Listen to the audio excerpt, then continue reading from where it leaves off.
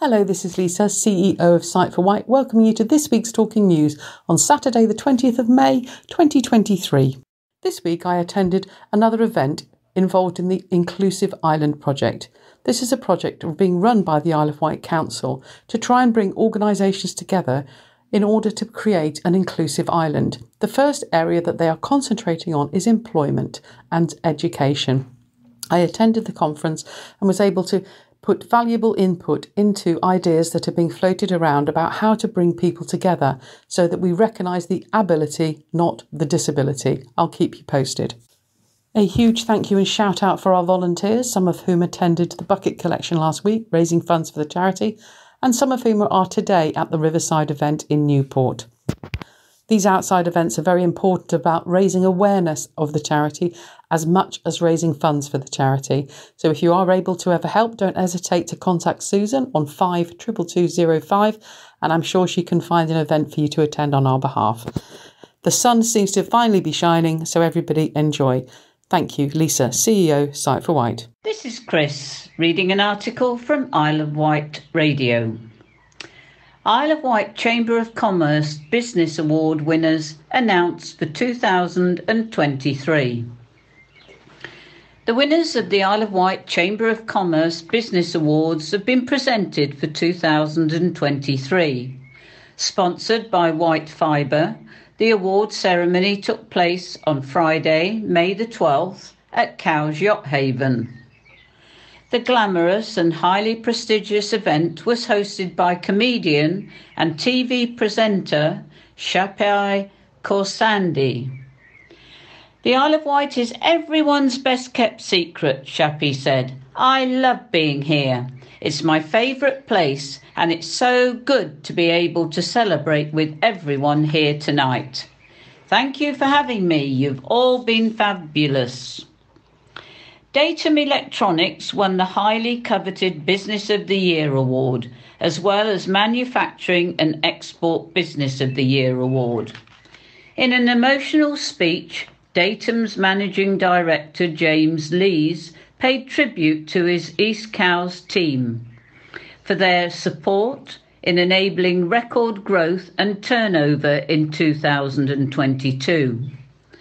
WightFibre's John Irvine was presented with the President's Cup for outstanding contribution, reflecting the success of the Gigabyte Island project. White Fibre also won Customer Service Award and Employer of the Year Award.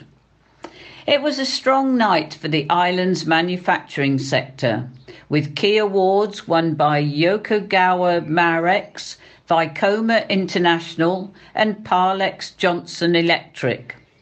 The tourism and hospitality sector was also well represented too, with wins for Visit Isle of Wight, the Island Holiday Company, the Seaview Hotel and Restaurant, and JR Zone.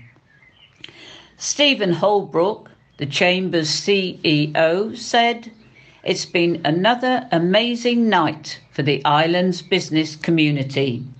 We have some amazing nominees and winners tonight, and it's a huge thrill to see so many great businesses celebrating in each other's success.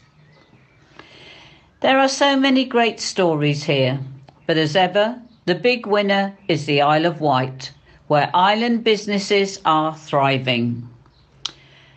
The Startup Business of the Year award went to the Island Holiday Company. Entrepreneurship Award, the winner was JR Zone and presented by Sandra Knowles. Made on the Isle of Wight Award went to Visit Isle of Wight. Community Award was won by Tidal Family Support. Customer Service Award went to White Fibre. Training and Development Award was went to Yokogawa Marex. The Environment and Sustainability Award was won by Vikoma International Limited. Hospitality and Tourism Business of the Year Award was won by the Seaview Hotel and Restaurant. Technology and Innovation Award went to Parlex Johnson Electric.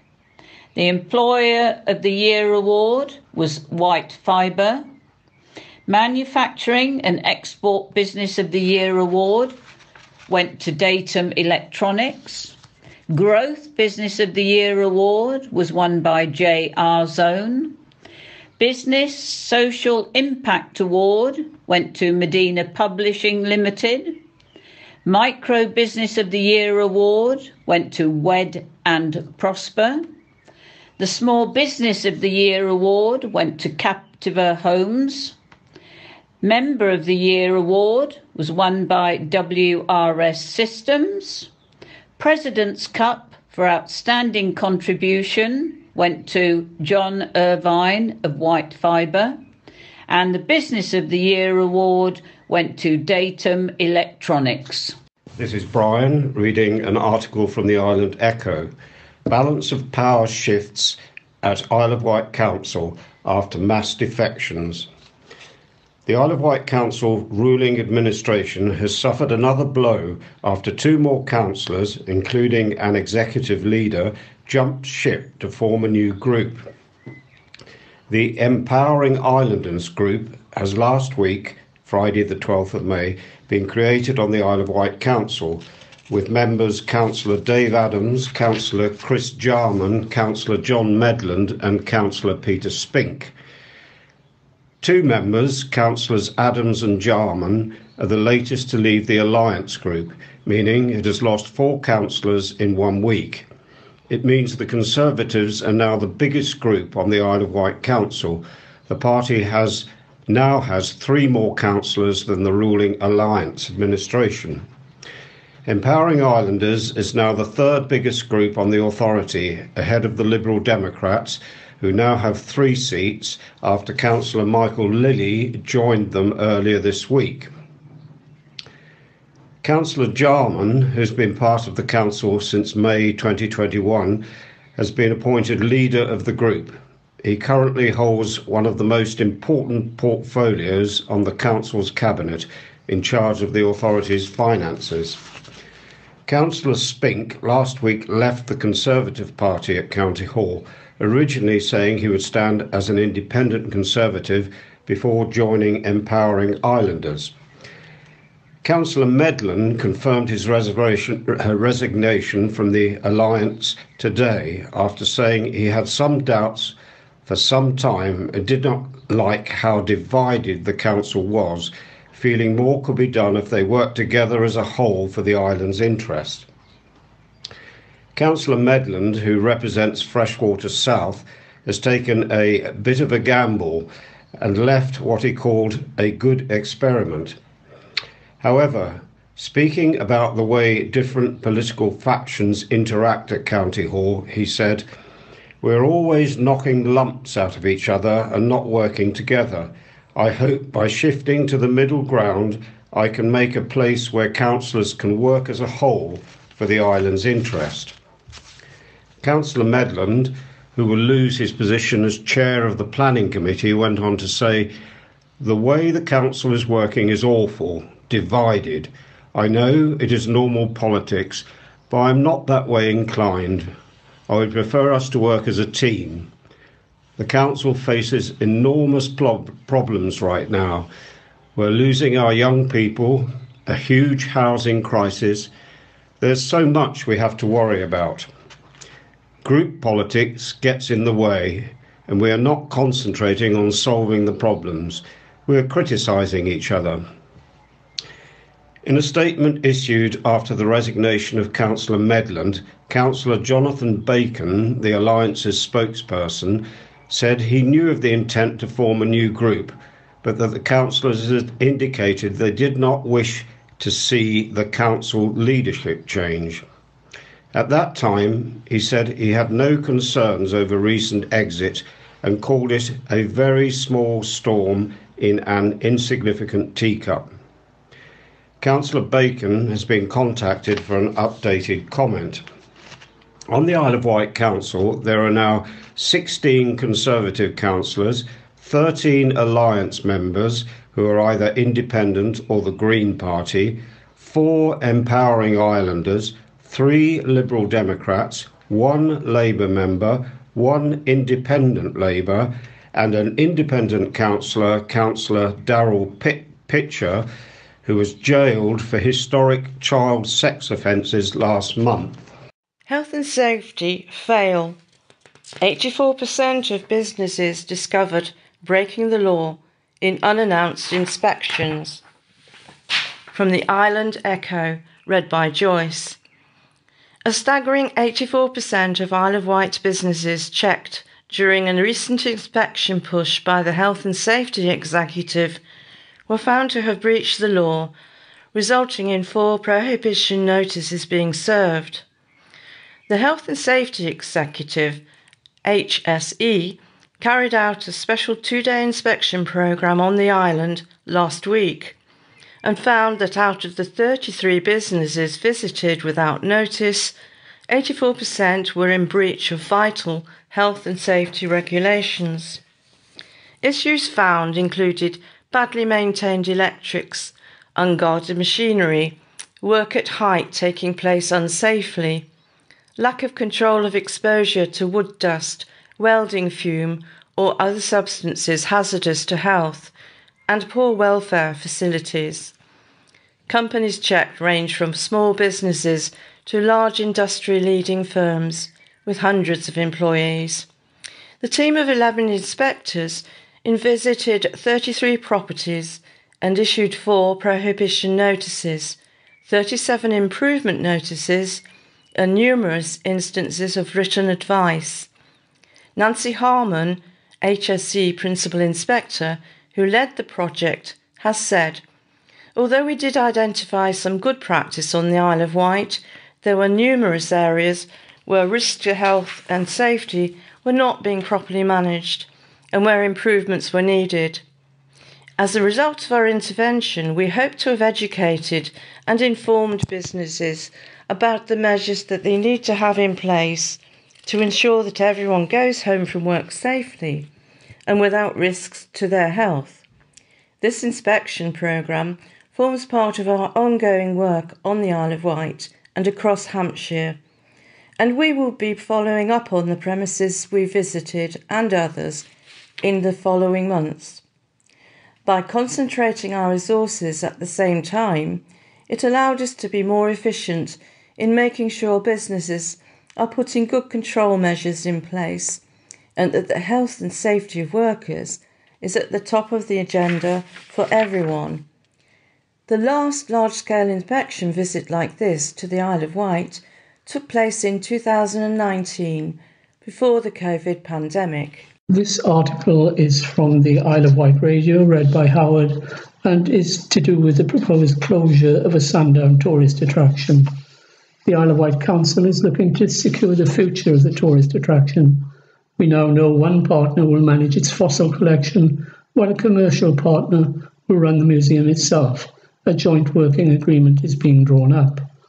Councillor Jonathan Bacon, Isle of Wight Council's Cabinet Member for the Environment and Heritage, told a meeting the museum's future is part of the wider regeneration bid for the area. It could see new attractions for Culver Parade, with Dinosaur Isle the key to success, said Councillor Bacon. The building needs repairs and will cost nearly £1, £1 million to fix. Meanwhile, the Isle of Wight Council lost an estimated £417,700 between 2017 and 23. However, it's hoped it will break even in 2023 2024. The Council has applied for government funding. It will find out whether it's been successful in December. This is Chris reading an article from the Island Echo. Be more green festival set for end of May at Moor Green Reservoir Park. A new free community event supported by Cowes Town Council has been announced for Sunday, the 28th of May, focused on the island's UNESCO biosphere status and sustainability. It's all happening between 10 a.m. and 5 o'clock on Moor Green Reservoir Park in Cowes. with a free mini festival of fun for the whole family. There will be artist led activities, entertainment, market stalls, and more, all centred around the theme of the island's UNESCO biosphere status and sustainability, with loads to see and do, including wildlife discovery, bug hoovering, museum of nature, kids' crafts, arts activities, live music, fresh local food, and more. UNESCO Biosphere Reserves are places that are chosen for their outstanding natural and cultural character and recognised as places where local communities have an aspiration to live sustainably within their local ecosystems. This is a global designation, and in 2019, the Isle of Wight was awarded Biosphere Reserve status by the International Coordinating Council of UNESCO's Man and Biosphere Programme. There are 700 biosphere reserves worldwide, but the Isle of Wight is one of only seven in the UK. The event will kick off at 10 a.m. with B is for Biosphere, a drop in poster making workshop with Kay McCran lasting until 12:30. Meanwhile, Paul Armfield will be performing songs about trees beneath the trees at the woodland for half an hour from 10:30 and again at 15:30. Kay McCran will also be leading Dirty Drawing in the dirt, with the dirt, and about the dirt. Another drop-in workshop will take place between 1:30 and 4 o'clock. There will also be a number of all day drop in activities, including I Watch Wildlife Workshop, Moor Green Mural Upgrade Workshop with Alice Malia, kite making and nature crafts with Wilder Learning, giant colouring in with Polly Zandari, History and Nature Workshops with Holly Medland, the pop up Natural History Museum with the Common Space and Allotment Tours. Cowes Baptist Church will be open between 10:30 and 11:30 for all age celebration service for Pentecost Sunday and will be staying open until 5 o'clock where they'll be serving tea, coffee, and cakes, as well as some all essential toilet facilities for the day, including baby changing facilities. There will also be traders for the first time at Moor Green Reservoir Park, including Black Gang Bakes, Andy Fortune Woodturner, the Flying Coffee Machine, Cycle White, and lots of handcrafted items, local produce, and art. The event is on Moor Green Road in Cowes, located between the allotments and the Cowes Baptist Church. PO 317AH. Look out for the big gates upon entry where there will be some beautiful decorations on loan from the brilliant shade makers. This is Brian reading an item from Isle of Wight Radio. Incredible Walk the Wight raises over £340,000 for Mountbatten. More than 7,800 walkers took part in Sunday's Walk the Wight, which has already raised over £340,000 for Mountbatten. Participation in Mountbatten's flagship fundraiser returned to pre COVID levels nearly double the number of walkers compared to last year's event. It was simply amazing, an absolute joy to be part of and to see so many people come together for Mountbatten, said CEO Nigel Hartley, who walked all 26.5 miles from Bembridge to the Needles. Walk the Wight was very much back to its best, and we are so grateful to everyone involved in the day. In these challenging times, the money raised so far is simply incredible and will help us so much in supporting people who need our care on the island. It is a huge task to organise the walk, and I would like to personally thank our staff, volunteers, and all our community supporters and sponsors who helped to make it happen. Thank you to you all for a truly memorable day. Walkers had the choice of four different routes the full 26.5 miles, either the first or second half, or the 8 mile flat walk. The schools walk, the Wight, from Freshwater Bay to the Needles, also welcomed more than a thousand walkers and has so far raised around £30,000 towards the overall total. More sponsorship money is still to be collected, and the final total raise will be announced later in the year. Next year's event will take place on Sunday, the 12th of May 2024.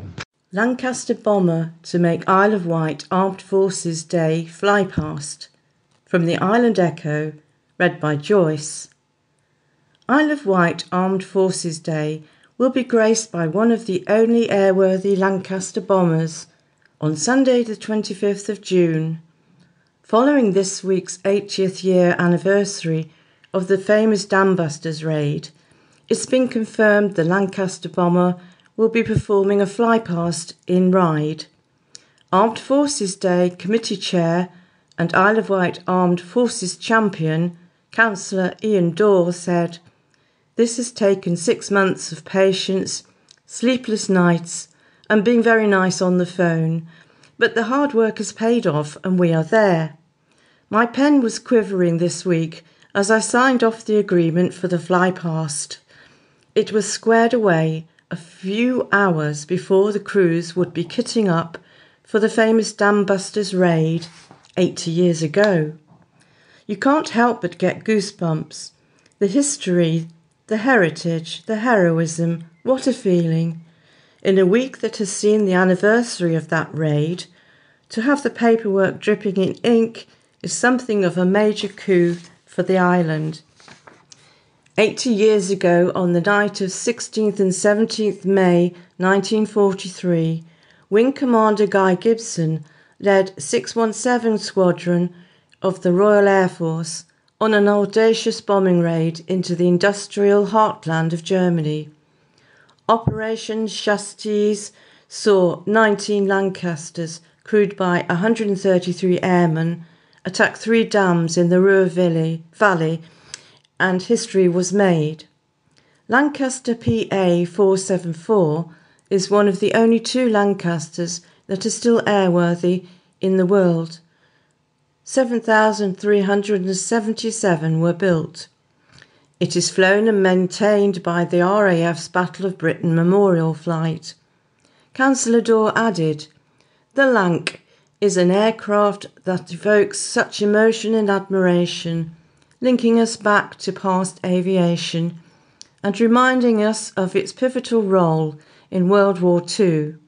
I would humbly suggest that its appearance at Armed Force Day is made even more poignant given that there are now no remaining members of 617 Squadron alive. As it cruises aloft the glorious seafront in Ryde, respect will be paid to those that made the ultimate sacrifice, as well as to those that are serving now. From my recollection, the last time the Lancaster officially displayed here was in 2013 over Cowes so it's going to be something for the memory books. The Battle of Britain Memorial Flight Plane PA 474 will be seen off Ryde Seafront as part of the Armed Forces Day event on Sunday, the 25th of June. Follow the updates at www.isleofwightarmedforcesday.co.uk. This article is from Isle of Wight Radio to do with vintage buses coming to Rider Bus event this weekend. Vintage buses and coaches can be seen in and around Ryde at the Rider Bus event this weekend, that's May 20th and 21st. Organised by the Isle of Wight Bus and Coach Museum, it's the first major event of the 2023 season and has been deservedly popular in previous years. Once again, buses will serve the Isle of Wight Donkey Sanctuary in Wroxall, where visitors can park free of charge and receive a friendly welcome. The preserved buses will operate special free services linking the park and ride site with the bus museum in Ryde and other attractions. Services 1A and 1B serve Wootton Station of the Isle of Wight Steam Railway. A commemorative programme is available containing full timetables and other helpful information. Doors open at 10am on both days. This is Chris reading an article from the Island Echo. Tashi Lhunpo monks returned to Quay Arts in July. The Tashi Lhunpo monks will return to Quay Arts on Saturday the 1st and Sunday the 2nd of July with their sellout show to celebrate their 50th anniversary. The show offers an insight into the mystical world of Tibet, featuring traditional Tibetan musical instruments, the sound of sacred mantras, and elaborate, colourful costumes. The performance is accompanied by an explanation of the significance and stories behind the dances and prayers and provides a fascinating glimpse into an ancient cultural tradition, far removed from modern Western society. Alongside the performances, the monks offer interactive workshops inviting participants to learn more about the costumes, performance, and music of a Tibetan monastery, or to try their hand at some of the Tibetan arts of butter sculpture, prayer flag printing, or sand mandala making. The Tantric tradition of meditation is exemplified by the construction of intricate sand mandalas. For nearly 500 years, since Tashi Lhunpo Monastery was founded in Tibet by the first Dalai Lama, the unique Buddhist tradition of prayers, tantric rituals, music, and dance has been offered by monks, inaccessible to all but the most fortunate. Fifty years ago, forced from their homeland by the Chinese occupation of Tibet, the monastery was re established in India, where this great tradition continues in exile. Eight Tibetan monks are now able to mark the 50th anniversary of the rebuilding of their monastery in India and share this dazzling spiritual culture with audiences in the West in the power of compassion, a program of mass dance, music, and tantric ritual. The workshops will take place on Saturday the 1st and Sunday the 2nd of July at 4 o'clock, with tickets priced at £12 in advance and £14 while the show will take place on the same day with tickets priced at £16 in advance and £18 on the door. Doors will open at 6 pm with the show starting at 8 pm. Tickets can be booked at www.quayarts.org or through the box office on 01983 822 490. This is Brian reading an article from the Island Echo. Lambretta Weekender returns for 22nd edition with scooter ride out and live music. After a hugely successful 21st anniversary, Lambretta Day is again running a two day event with a scooter ride out and entertainment on Saturday the 27th and Sunday the 28th of May 2023. Saturday's ride out will be organised by the Isle of Wight Scooter Alliance, leaving at 1pm with a venue yet to be decided, and the usual ride out leaving from New Close Cricket Ground, Newport on the Sunday, also at 1pm. Scooters will be meeting at 12 noon and ride, riding to Ryde Pavilion Bar for free live music, DJs, beer tent, and barbecue. There will also be trophies presented for the best overall Lambretta scooter, best turned out scooter club, best vintage scooter, and farthest travelled rider. The entertainment will then continue into the evening at Ryde Pavilion on the seafront, with everyone welcome at a bargain £10 entry with a weekend ticket. Acts so far announced include the Molotovs, the Hownettes, and the Mexican Mods, plus many more. Full details and tickets are available at www.visualimpact.co.uk backslash events and local outlets including the Super Bowl and Bagel Wrap Coffee Shop in Ryde and Visual Impact in Newport. £2 bus fare to continue until the end of October as government extends scheme from the Island Echo, read by Joyce. Bus passengers on the Isle of Wight will continue to be able to travel on a single journey across the island for £2 or less until 31st October 2023, it has been announced. Southern Vectis is signed up to the Department for Transport DFT initiative, which restricts the cost of a single ticket at the beginning of the year. An essential part of the government's Help for Household scheme, the fare cap was originally set to end on 31st March, but has now been extended for the second time. The extension means that Isle of Wight bus users will be able to travel on any single journey on any of the operator's buses, except the Breezers and school routes, for £2 or less. They can also use any payment method including tap on, tap off, contactless, the app, and cash. Andrew Wickham, Managing Director of Southern Vectis, says, I am delighted to confirm that Southern Vectis will continue to offer the £2 fare cap in line with the government's announcement that the initiative will be extended. It will allow us to continue offering low cost bus fares, and it will help to protect many routes relied upon by local people. The aim in the long term is to encourage more people to shift their travel habits from using their cars to taking more sustainable methods of transport. One double decker bus has the potential to take up to 75 cars off our roads, and that can have a significant effect on the quality of air we breathe here on the Isle of Wight. This article is from the Isle of Wight Radio and is read by Howard. It concerns the free community event ticket to ride returns to Ryde Seafront for the late May bank holiday weekend. The much anticipated community event will return to Eastern Gardens on Ryde Beach.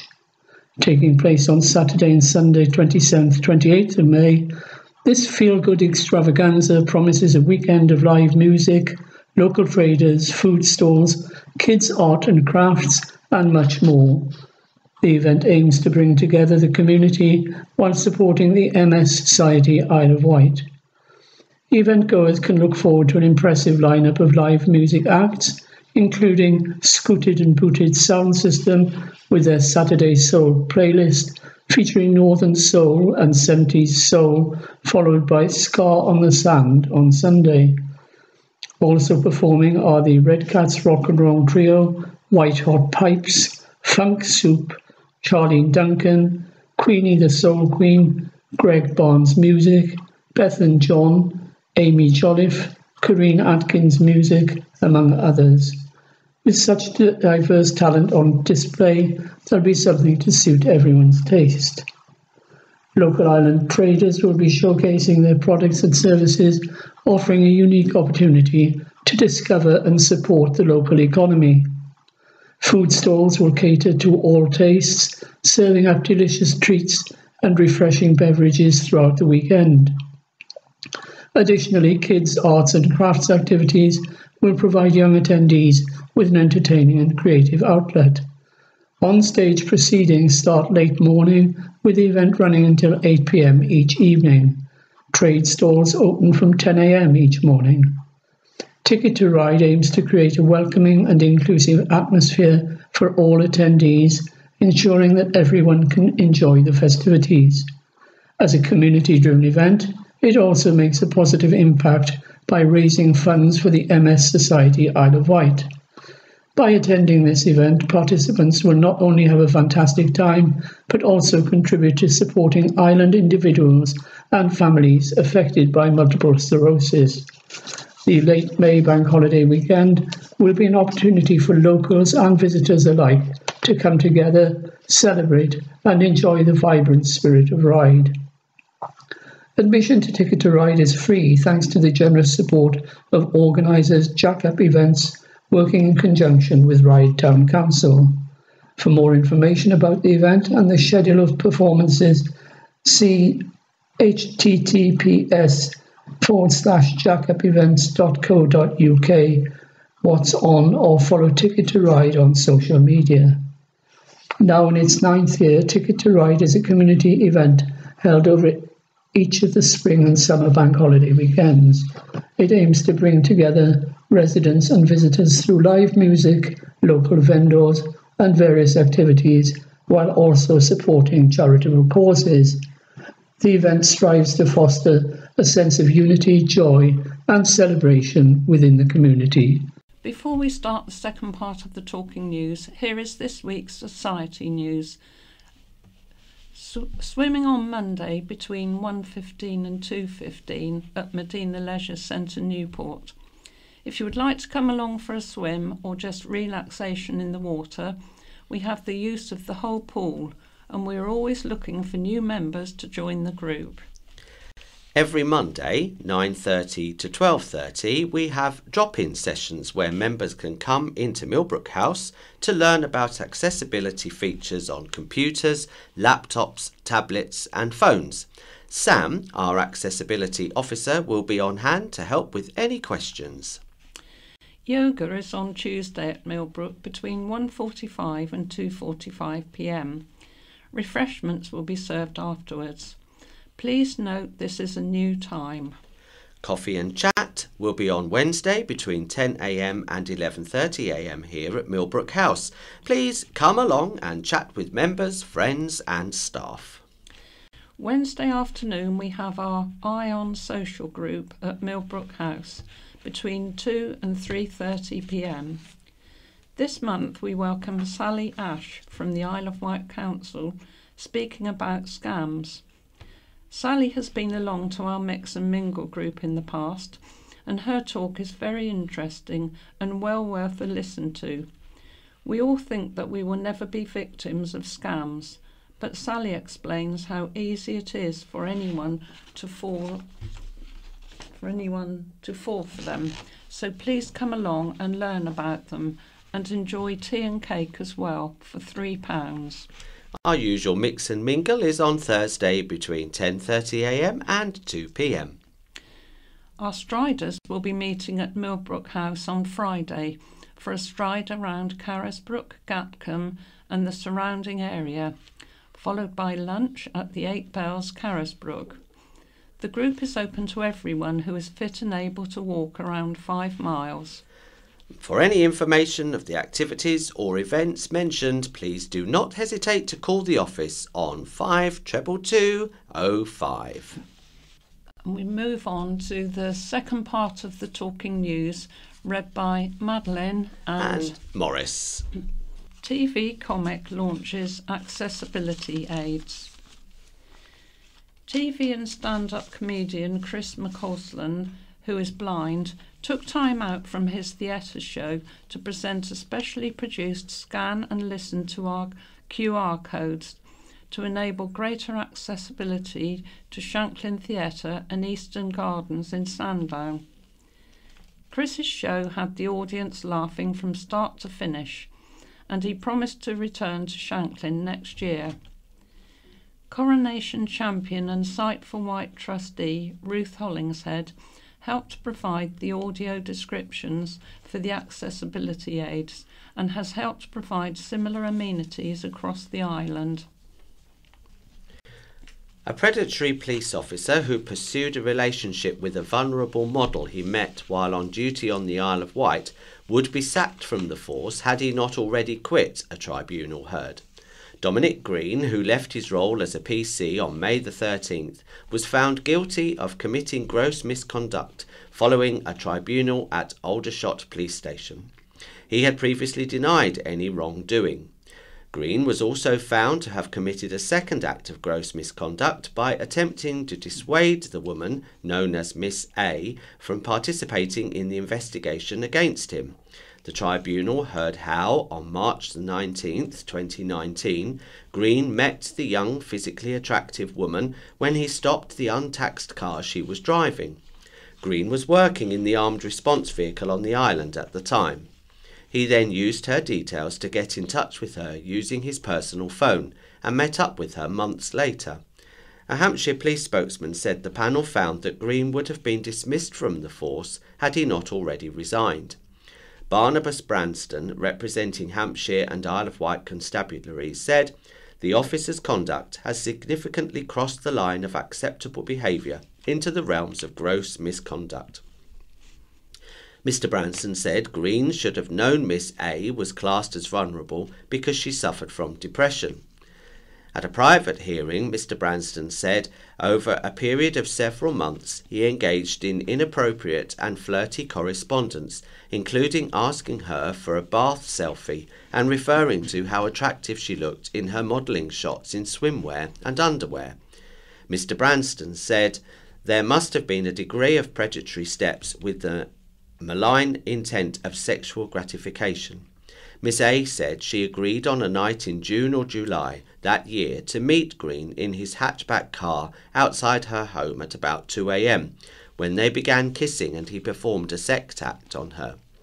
Miss A said she was happy to meet with Mr. Green, but called his claim that he had visited her to discuss her car and that no intimate contact occurred absurd. Plan for hearing aid users. In future, elderly people with hearing problems will be referred to Specsavers or the hospital, replacing care delivered by a vital charity service and instead of being seen at volunteer run clinics.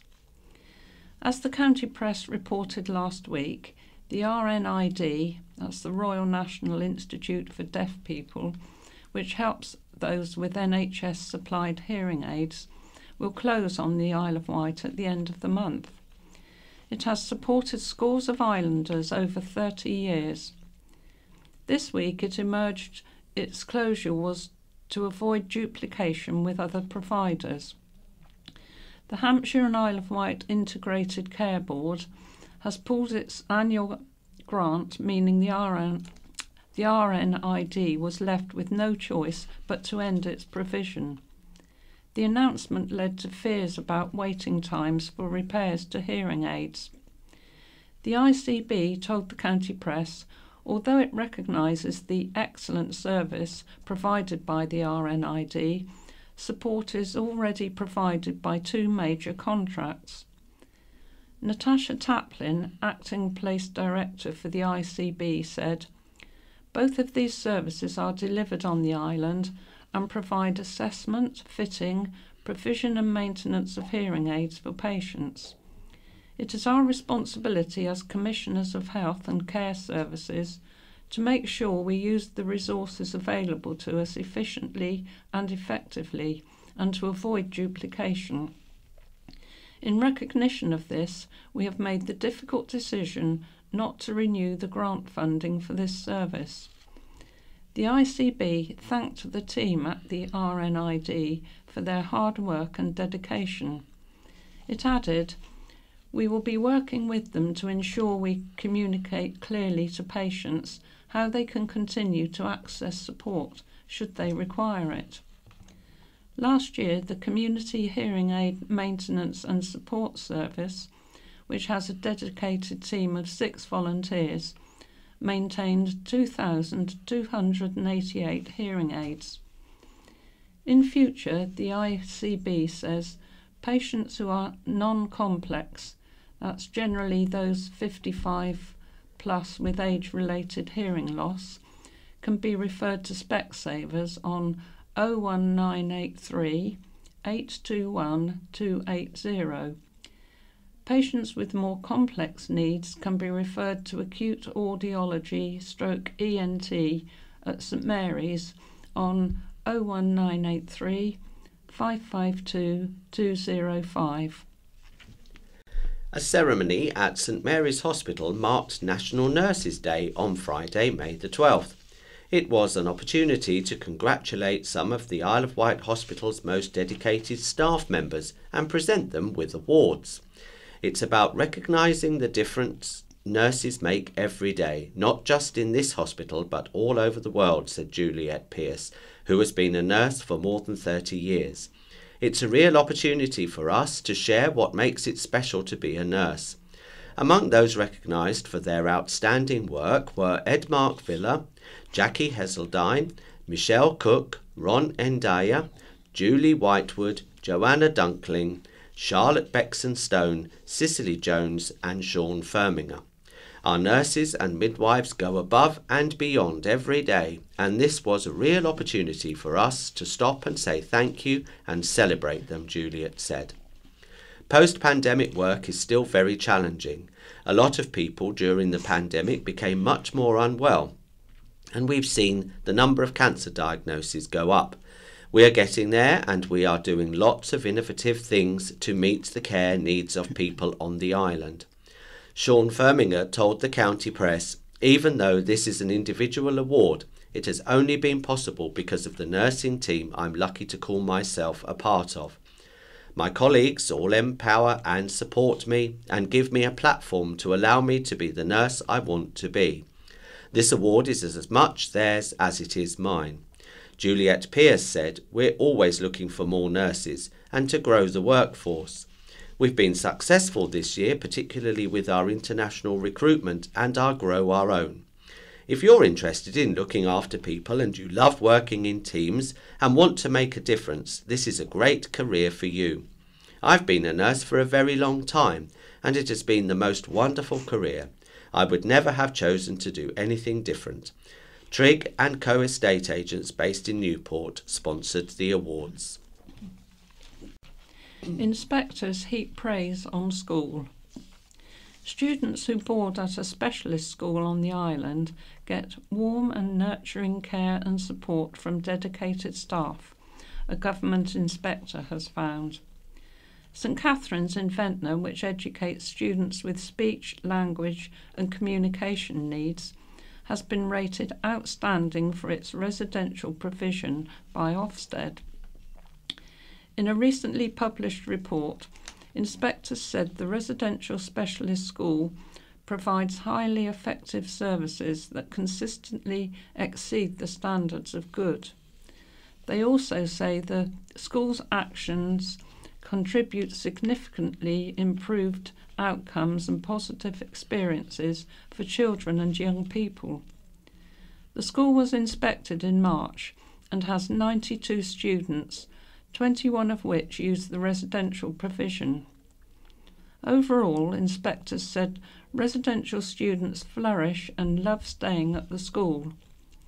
One told inspectors they would be heartbroken if they could not come to the school and parents were equally enthusiastic about St Catherine's, saying the care team always go the extra mile. Inspectors saw students learning to care for themselves and others, developing their independence and social skills, as well as encouraging their housemates when they had done something well.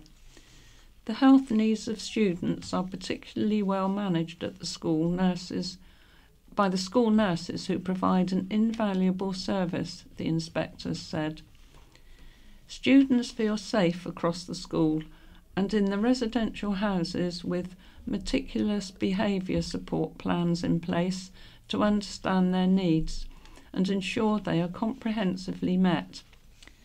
Leaders have an exceptional knowledge of all the students in the school and promote a culture of high aspiration.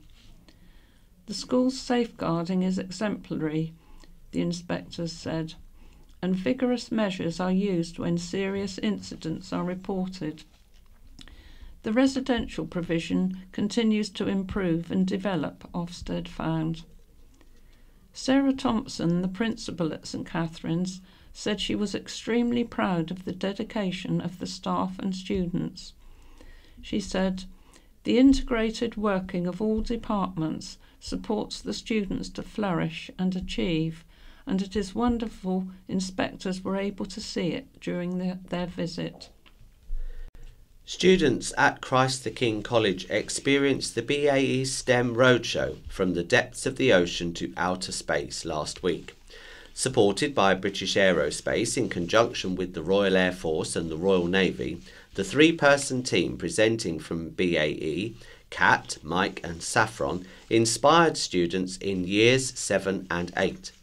Last week, the team also visited Carisbrooke and Medina colleges, the Bay Ryde Academy, the Island Free School, and Honey Hill Primary. The 50 minute show was built around the journey from the bottom of the Mariana Trench to the outer limits of our solar system and beyond. Claire Rennie, STEM coordinator at Christ the King College, said, It was wonderful that so many Isle of Wight children and young people are enjoying these STEM opportunities. It opens up so many avenues for them. Who knows where it will lead for each of them in the future? One premise of the performance was to consider the engineering challenges and solutions to explore hostile environments like under the ocean or in deep space and how to put humans in these places. Students learned about the scale of the oceans and examined some fascinating facts, for example, just how much water is there on Earth. In space, students explored how vast it is and looked at some of the engineering challenges around space travel. The interactive show allowed students to put their communication skills to the test, and other interactive exercises challenged them to see just how much they know about our solar system. The finale of the show featured a huge sun, which demonstrated how large it is compared to the Earth, leaving students astounded. Andrew Montrose, head teacher at Christ the King College, said, I don't want our students to miss out on what other students get across the county, and although they missed a lesson, the upside is that they learned about the world and it captured their imagination. It gives students an idea of the future that they would not have had. I'm very grateful for Claire and the other staff who have helped to organise the event. Road crash blame game. Mainland, mainland motorists, irresponsible young drivers, and incapable old drivers are not the main cause of crashes on island roads, a senior police chief has said. It follows 2021 data published by the Isle of Wight's Community Safety Partnership, which showed there were 242 road accidents involving injury on the island. Speaking at the Isle of Wight Council's Corporate Scrutiny Committee on Tuesday, Councillor Chris Quirk said the impression on the island is that there is a twin peak issue with young drivers being irresponsible and old drivers not being capable. He also questioned whether it was possible to know if it was islanders or holidaymakers who caused the accidents. Councillor Quirk hoped through knowing who caused the accidents, actions could be targeted to those groups to try to reduce incidents. Hampshire and Isle of Wight Constabulary's Superintendent Robert Mitchell said there was nothing to indicate an issue with mainland drivers coming across, as crashes were mainly resident drivers. He also said there was no differential between young and old drivers, although there may be more of an influence of drug driving on the younger population. Superintendent Mitchell said there is a challenge with the layout of roads on the island and the rural nature, and a certain complacency with some residents on, on how safe it is to speed. Analysis of the accidental data suggested more incidents occurred between April and September than, than in any other months, and between Wednesday to Saturday than other days. The majority of crashes, the CSP said, occurred on built up roads with a speed limit of 21 to 30 miles an hour, and not usually at junctions. A concern for the CSP was the relatively high rates of admission to hospital for motorcyclists aged up to 24, which was above the national average. To crack down on road safety, which is a priority for the CSP, the Roads Policing Unit has recently been re established with officers undertaking speed enforcement activity. Superintendent Mitchell said that in a recent campaign, Operation Mile, more than 120 offences had been picked up, and drivers were prosecuted either through a ticker or in court, with the vast majority for impaired driving through drugs or alcohol. Inspiring Isle of Wight entrepreneurs were quizzed on their latest ventures by island business professionals. Seven student teams from a mix of island schools and colleges have been competing since last September to win the overall title of Best Company as part of the Young Enterprise Company programme. Over the course of the academic year, each student team, supported and guided by a business advisor, has devised and launched a business. The teams took on challenges like in Dragon's Den to win real cash investor funding from a panel of island business leaders. They also took on retail training opportunities, and a grand final at Quay Arts in Newport was the last hurdle for the teams to get over. As well as delivering a trade stand, teams formally presented their business report to a packed out Minghella Theatre. Awards were made for teams that delivered best on presentation, sustainability, marketing, and teamwork. Wisteria from Ryde Academy picked up the top honour as Best Company along with the marking, Marketing Award. Sea Cycle from Christ the King College were recognised with the Best Presentation Award, and Clouds of Ventnor from St Catherine's College won the Team Journey Award. Truly Retro, representing the Isle of Wight College, came up with the strongest approach to sustainability. The top four island teams will now go on to the Hampshire and Isle of Wight final in Southampton later this year. Ambulance service therapy dogs for when going gets rough. Staff at the Isle of Wight Ambulance Service have welcomed 12 new four legged colleagues to their team to help reduce stress in the workplace. Introducing therapy dogs was the idea of specialist paramedic Sophie Brockman, who sought to help those who have had a, a rough day. Sophie said, Due to the nature of our work, our ambulance staff are regularly exposed to distressing situations. Our new four legged colleagues will support teams by visiting the ambulance station and spending time with the teams when they can during breaks and downtime. The first recruit of the new intake was Ted, an eight year old Labrador. Owner and paramedic Emma Webb said, Being able to reduce stress in the workplace and support our colleagues who are often working in challenging circumstances is incredibly important. Evidence shows that interacting with dogs can de- decrease levels of cortisol and systolic blood pressure which are indi- indicators of heightened stress. Director of Operations for the Isle of Wight Ambulance Service, Victoria White, has also volunteered her own dog, Freddie, for the scheme. She said, I have personally seen firsthand what a positive difference dogs can make in the care home my dad is in. A man has been arrested and a large quantity of cannabis and cash seized following a drugs raid. Hampshire and Isle of Wight Constabulary carried out a warrant at an address on Newport Road in Lake last week. Police were able to gain entry to the property using an enforcer. A 30 year old was arrested on suspicion of being concerned in the supply of Class B drugs. Posting on Facebook, Isle of Wight Police said, We have been relentlessly pursuing criminals to ensure that their lives, not those of local people, are a misery. Criminals need to know that the Isle of Wight is a hostile environment for them and that every effort will be made to seek justice for victims. One of our priorities locally is tackling drug supply and the associated harm it causes. Drug supply can be linked to serious violence and knife crime as well as the exploitation of children. Officers are urging anyone concerned about drug dealing in their neighbourhood to report it to the police on 101. Things are going right if there's a Waitrose. People told me to go to East Cowes, so I went there and it's perfectly fine. They've even got a Waitrose. The creator of hit YouTube series Turd Towns has revealed the places on the Isle of Wight he visited which did not make the final cut. In an exclusive interview with the county press, the man behind the viral video said he was expecting World War III before he arrived, but instead found the island as a whole to be really nice.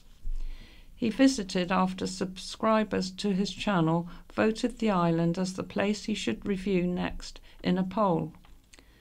The video, which has so many far which so far has amassed 177,000 views, labelled Sandown embarrassing, Wroxall a weeping wart, and suggested Newport should be knocked down. The Turd Towns creator, who asked to be referred to as Towns to protect his identity, said he was surprised that most islanders agreed with him. The other towns to feature on the list are Ventnor, Ryde, and Shanklin. But the cameras visited plenty of other towns which, thankfully, did not. He said, one local said Brading. It's a little bit scruffy, but you can't throw it under the bus because it has one derelict building. It's not a reflection of the entire village. People also told me to go to East Cowes, so I went there and it's perfectly fine. I don't know what people are talking about. You know, things are going all right if there's a Waitrose.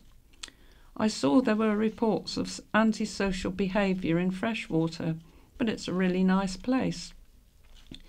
Towns 30 said his interest in neglected and obscure places first peaked as a child when he when he read Crap Towns books in the car on UK family holidays.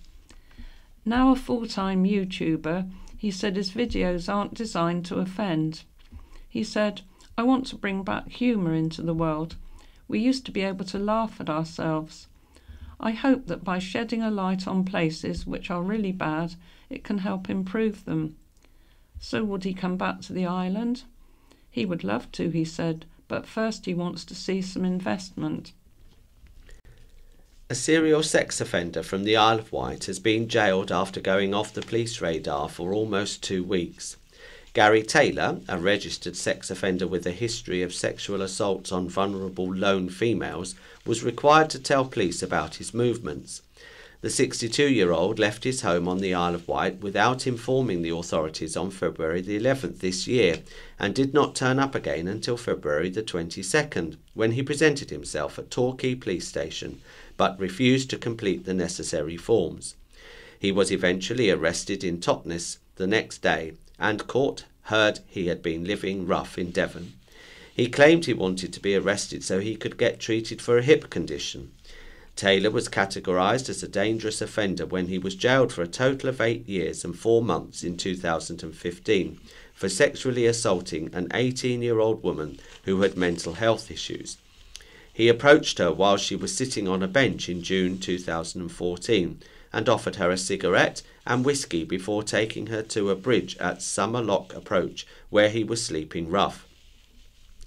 He went on to sexually assault her, leaving her traumatized. He also has convictions for sexually assaulting lone females on trains and was already on the register when he committed the offence in Salisbury. Taylor, formerly of Salisbury and the Isle of Wight, but now of no fixed address, admitted failing to comply with the sex offenders register and was jailed for nine months by Judge David Evans at Exeter Crown Court. Taylor was not represented but told the judge he had been confused by the law. He said he went to the police station in the hope of being arrested but had been turned away. He said, I went to get arrested because I needed treatment for a broken hip, but it was not until the next day that I got picked up for something else. Review of leisure centres continues. The future of council owned leisure centres on the island is still being reviewed six months on. The Isle of Wight Council has struggled to recover membership levels at its three leisure centres, Westridge, The Heights, and Medina, following the COVID pandemic. The service review has been ongoing since November and is looking at current income and expenditure levels. Councillor Julie Jones Evans, the Cabinet Member for Business Development, said they are still gathering data to understand how much money the authority is saving in energy costs after the recent installation of carbon reduction measures at Medina and the Heights. The, re- the review is now likely to finish in the autumn, Councillor Jones Evans said, ready for the Council's budget setting decisions for next year. The authority has said it recognises the importance of the services to islanders and visitors, but is carrying out the review in light of the large increases in fuel costs and the overall impact of the cost of living crisis. It had been intended the review would be finished by the end of last year, so it could help the Council review financial decisions in the budget. The outcome of the review will depend on the findings, a council spokesperson said, and will primarily be used in the council. If any significant decisions need to be made, then the relevant information would be made public. There were fears the leisure centres would have to close due to the increasing running costs to pay for some of the island's social, ne- social care needs, but they were quashed. In the last financial year, the authority was facing a hole in its leisure and sports development budget of more than £1.2 million. Despite the, the leisure gym and fitness facilities being fully open and recent upgrades undertaken to equipment, one card membership levels had been slow to recover. Councillor Jones Evans told the Scrutiny Committee membership levels are up 17% compared to 2019. Prices at One Leisure went up in April in line with inflation, the council said. There has been mixed feedback over proposed traffic restrictions and speed limits for the forthcoming new football ground. Changes to highway orders are set to be approved for busy roads in Whippingham around where the new stadium will be built the Isle of Wight Council received 19 representations over the proposed speed changes, 10 in support but 9 against. The decision was delayed until May the 18th as certain documents were not available for consideration. They are part of the plans for the proposed new home of Newport Football Club and would reduce motorists' speed to 40 miles an hour near the site's proposed entrance and exit. Currently, the stretches of Whippingham Road and Racecourse leading up to the roundabout are 50 miles per hour. Other proposals would ensure safe entrance and exit to the football ground. If going into the site, you would only be able to turn left coming from the roundabout. Leaving the football ground, you would only be able to turn left, sending all traffic to the racecourse roundabout. Concerns were raised in a public consultation about ensuring people would follow the restrictions. Many comments suggested traffic should instead use East Cowes Road to get to the site, like Isle of Wight Festival camping traffic, which would remove traffic from the roundabout, improve traffic flow, and reduce risk. Another said potential traffic lights should be installed at the top of the hill by the bus stops they said it would be ludicrous not to have one, as many people would be crossing the road to reach the bus stop heading back to Newport. One resident said lowering the speed limit would not stop accidents, and having the entrance there would, if anything, cause more accidents. In support, one said the changes may cause some disruption, but the long term gain far outweighs the problems. Another said it would increase public safety and any drop in speed limit was good. Donkeys after a muddy award.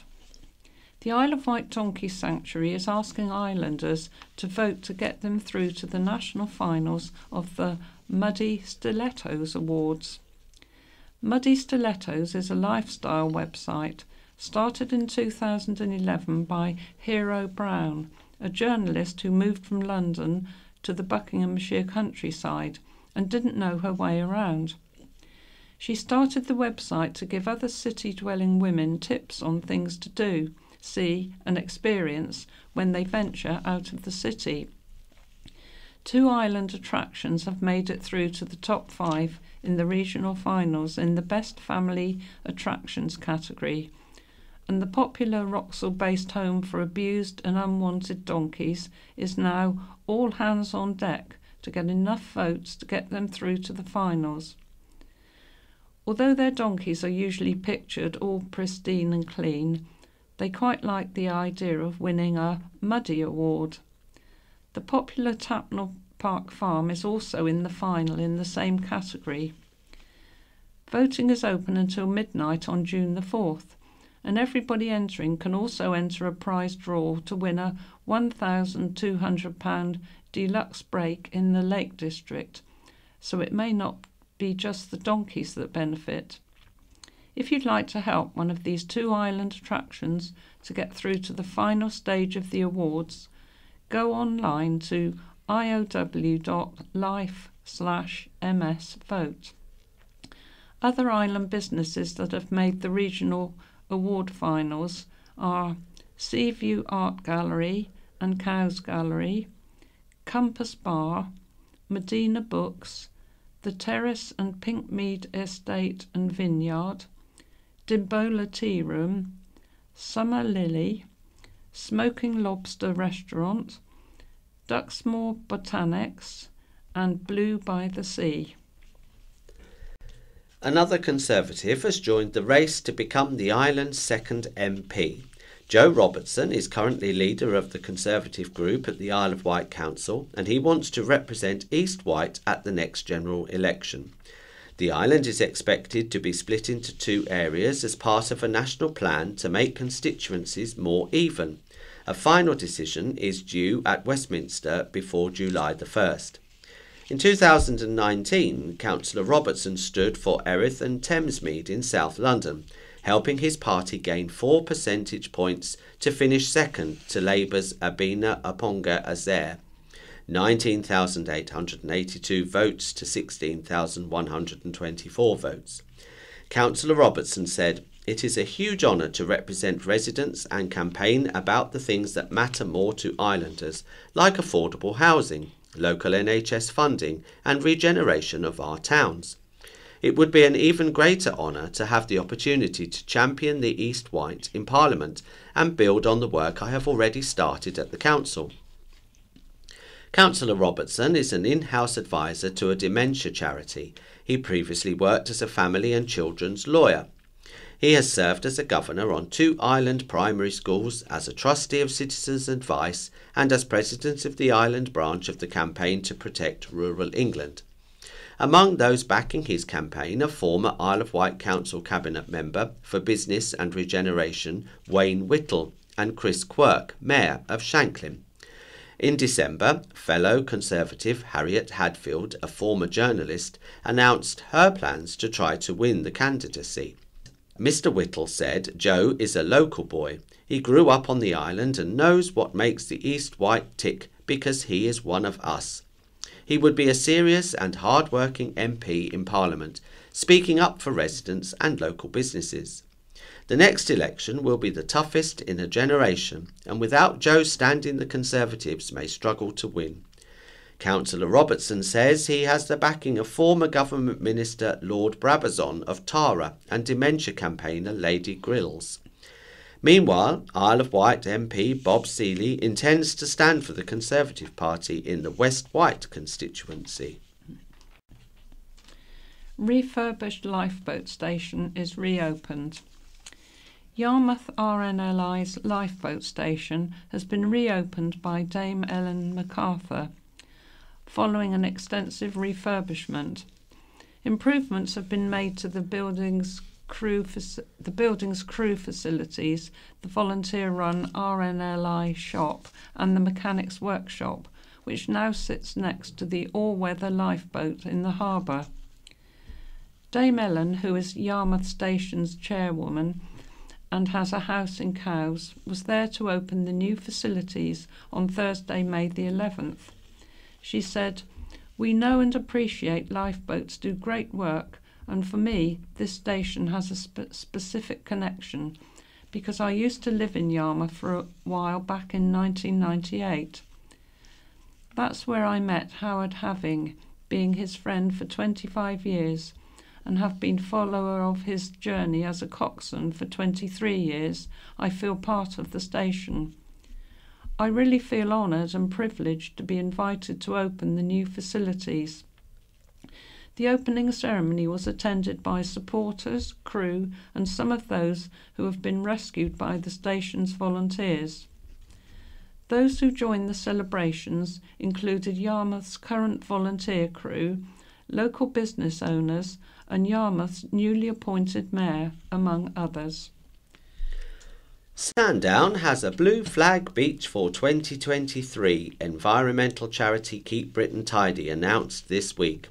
The 2023 Seaside Awards were also unveiled with Sandown, Seagrove, and Springvale, which is a non bathing beach, all receiving one.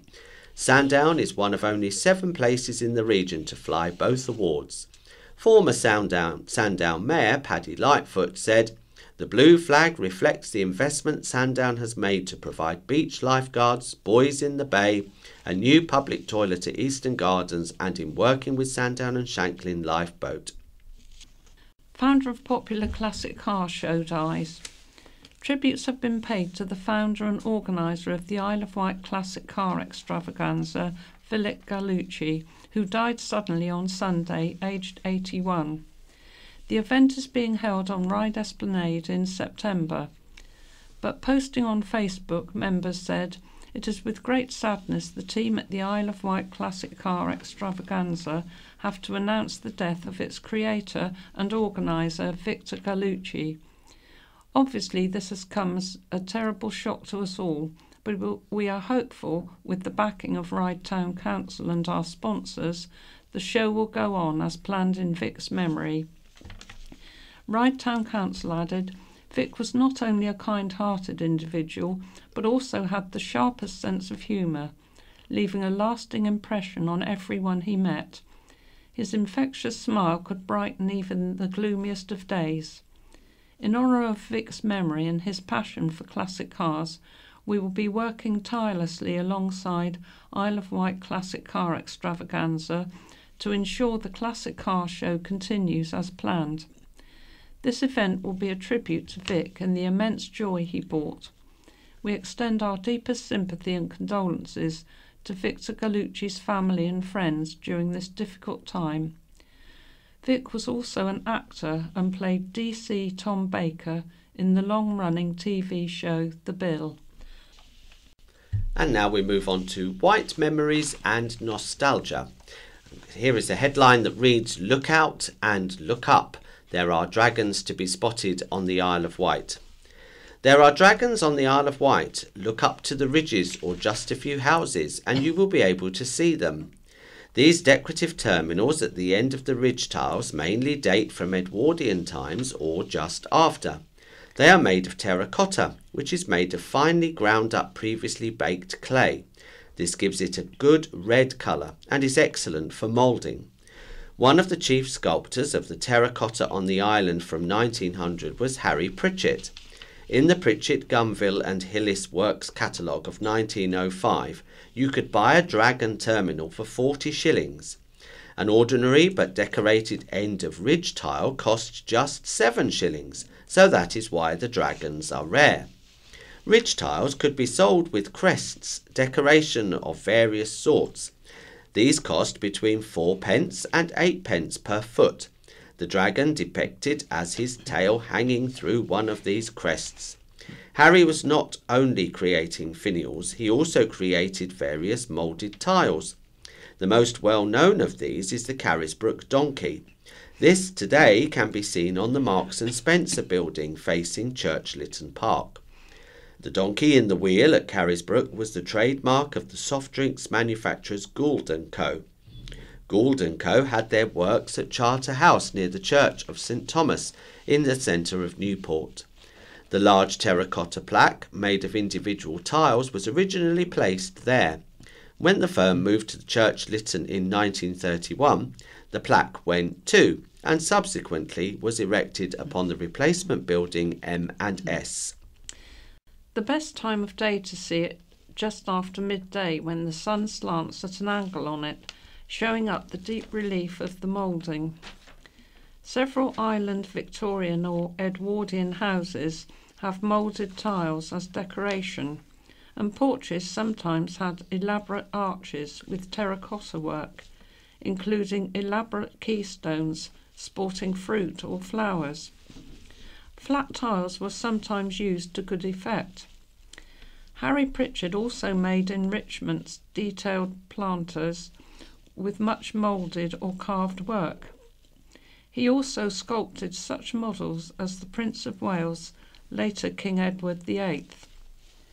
Apart from the wealth of the island brick built houses from the Victorian and Edwardian period, other reminders of our brick industry remain.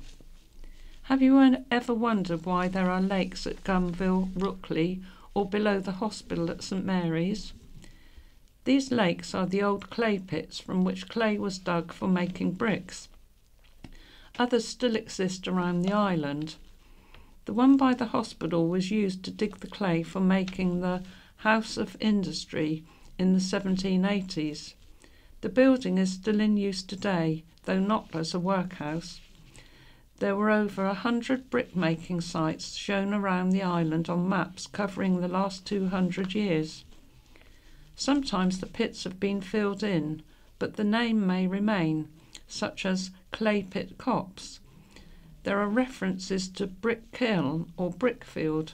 To find out more about the island brick-making industry, visit the free display of island brickmaking at Whippingham Church Hall near the church.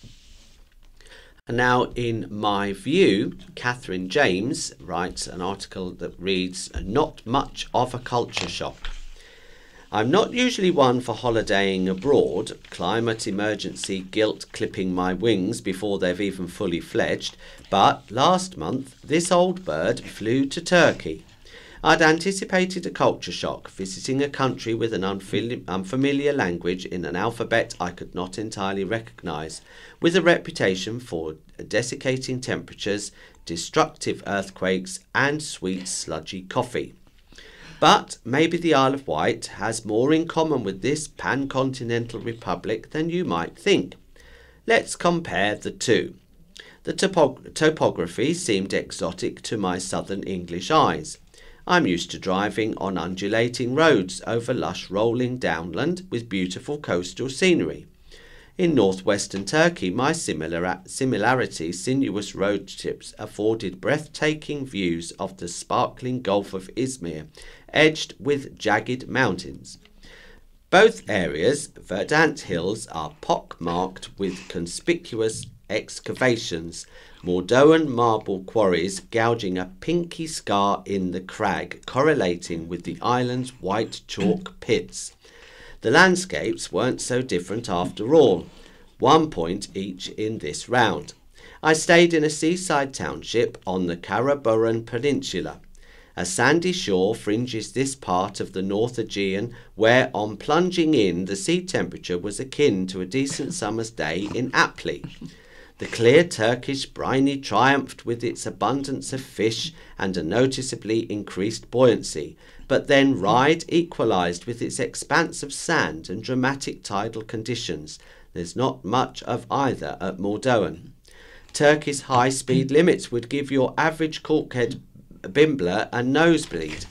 And instead of triggering traffic police officer with a speed camera, you might get pulled over by a gendarme with an actual gun.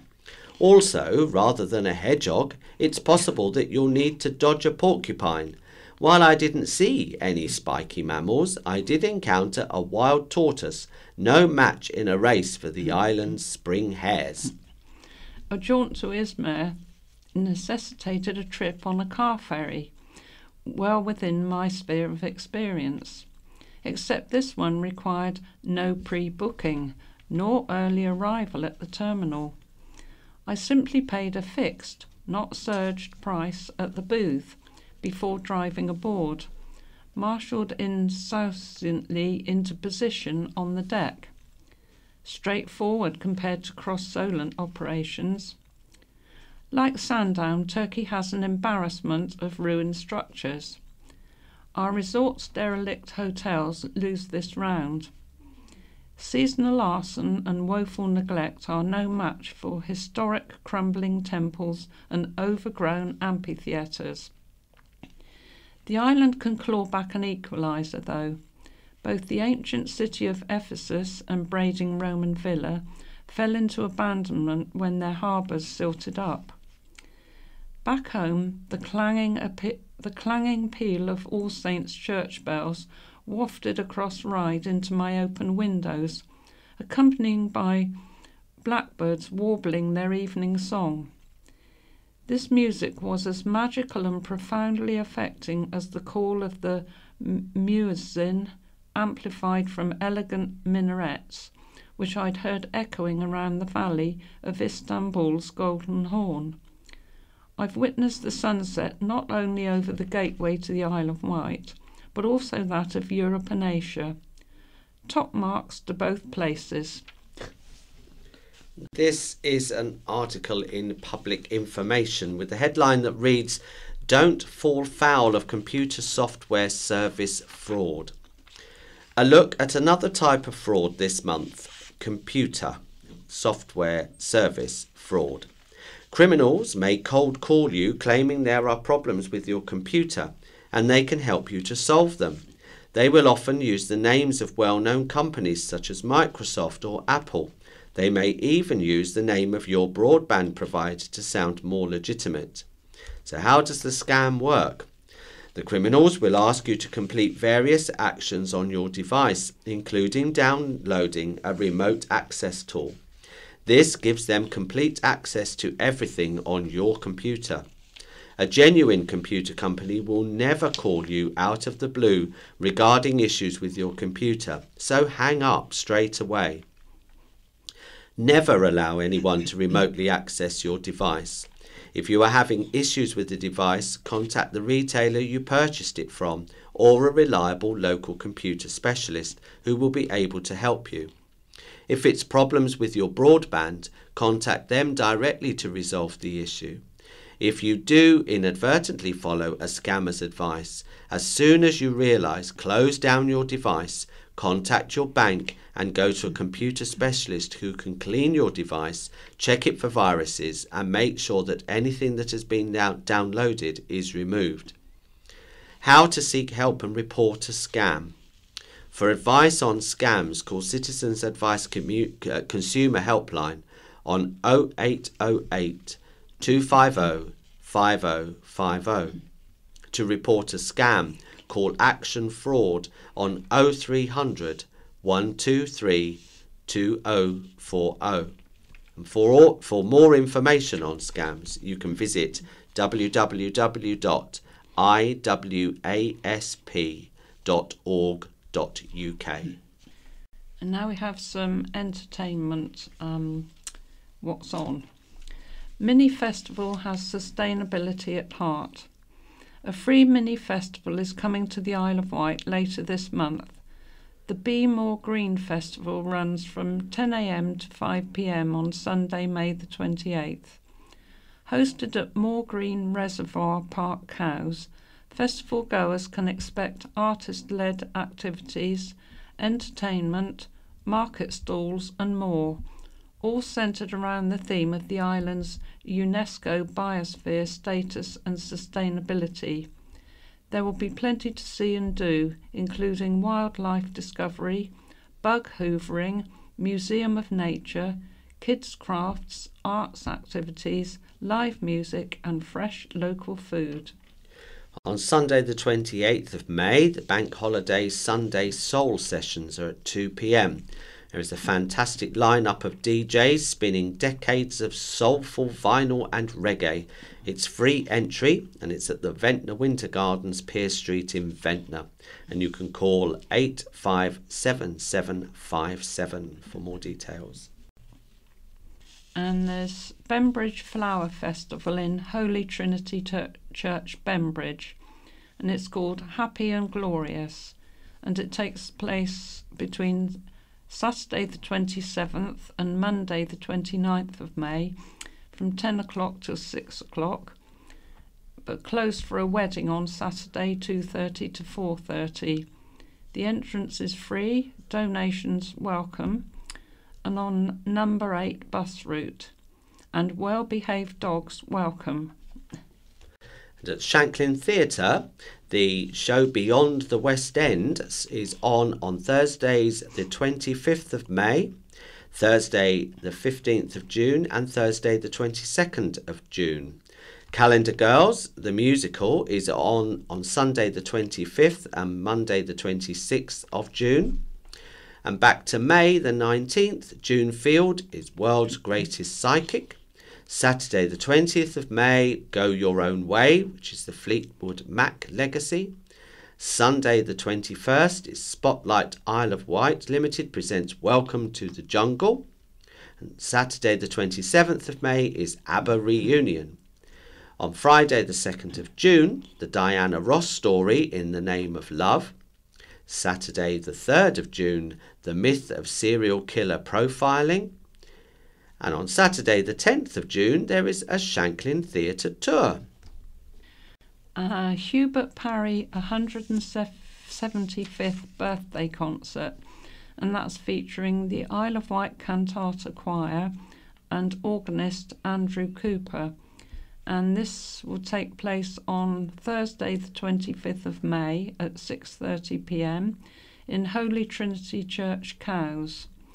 The tickets are fifteen pounds each, and they can. Um, it's advertised on www.ticketsource.co.uk slash parry hyphen cowes or telephone 333 666 4466 option 1 The Yarmouth Sea Songs Festival takes place next weekend from Friday, May the 26th to Sunday, May the 29th, along with one of the largest annual gatherings of gaff rigged boats in the UK, with around 100 of the boats moored in the harbour.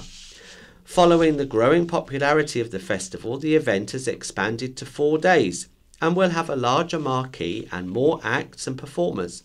Some acts will also be appearing at the Wheatsheaf and other venues around Yarmouth over the weekend. The free event, which raises funds for National Coast Watch at the Needles, kicks off around noon, with performances running on to early evening. The formal opening ceremony takes place at around 4 pm on Saturday. Daily performances will carry on from noon to early evening, with various stalls selling food and ice cream, an island ales bar, and children's entertainment. On Monday evening, the celebration will come to a close at around 4 pm with the Fantasia of Sea Songs, including renditions of such favourites as Royal Britannia, complete with flag waving and audience participation. And we now have some letters to read. Thank you, NHS. The name and address are supplied. I would just like to say what a brilliant job the A&E team did on Saturday, May the 6th, when I presented my wife with stroke symptoms. With scans, etc., etc., they stabilised her and put her on the road to recovery. They are worth every penny. Thank you, NHS.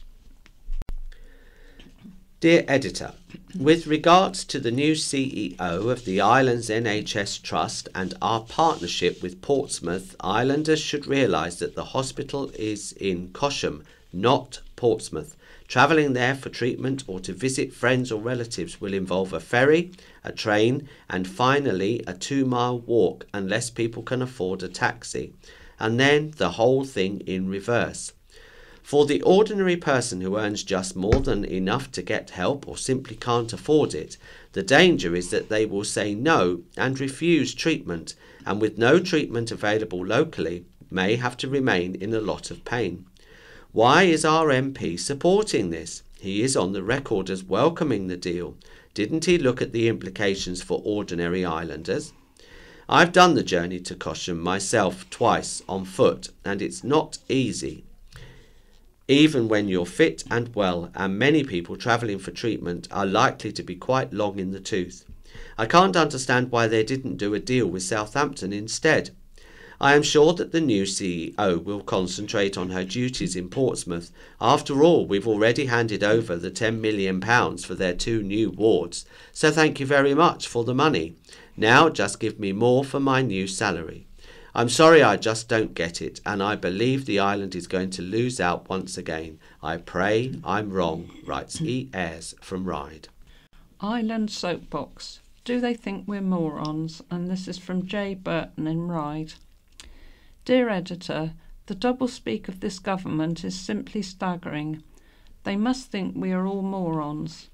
In the midst of supplying countless quantities of armaments to Ukraine for its war with Russia, along with heightened signs of aggression coming from China, Conservative Defence Minister Ben Wallace is shrinking our army troop numbers to an all time low, whilst saying he is shielding them from further reductions. Work that work that one out. It's like Isle of Wight MP Bob Seely voting in Parliament against the environmental bill, then pretending to be all concerned about the vast quantity of untreated effluent being deliberate, de- deliberately discharged into our seas. The solution? Give the woke glitterati a free water butt. They'll never notice the buck really does stop with the electorate. Bob Seely and the Conservative Party's plethora of broken promises needs to be called out for what they really are. And no Bob, a free water butt, care of Southern Water, isn't going to cut it. It is time these Tory charlatans, desperately clutching on to power, are held to account. No doubt they will still be blindly supported by the usual twin sets and Pearl groupies and their fox hunting, funny handshake brethren. However, the truth is, leaving aside all the years of lies and broken promises, their time is up. They all need to be kicked out on their butts by the good, decent people of this country. Keep your eyes on your pets, writes P.S. of Newport, the name and address supplied. Dear editor, I read with concern that another pet is posted as missing. This week, a cat. Last week, a dog. I'm not sure if there is a spate of attempted animal thefts. I certainly hope there isn't. But someone tried to get into my house a week ago, and my cat is very similar to Teddy from Alverstone. Luckily, despite disappearing, she came back but it does worry me that pet napping may be happening on the island. I urge owners to be vigilant and take steps to secure their animals at night. Walk the Wight organisers had thought of everything. From Alistair Elliott in Gurnard. On Sunday I did walk the Wight for the first time. It won't be my last time. It was a joyous and uplifting day. The organisers had thought of everything so all the walkers had to do was, well, walk. There was no need for a map, as hundreds of signs and hundreds of smiling volunteers pointed us in the right direction. The day had so much to offer fresh air, exercise, being in nature, being part of something bigger than ourselves, supporting the hospice services which any of us may need one day and which make such a difference to both patients and their families. Another way to support Mountbatten whilst having a good time is through attending one of their monthly concerts that feature diverse, diverse artists and a wide range of music genres.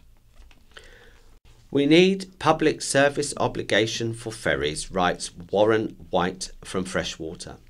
It's good to see the Chief Executive of Wightlink take the time to respond to issues raised in the county press.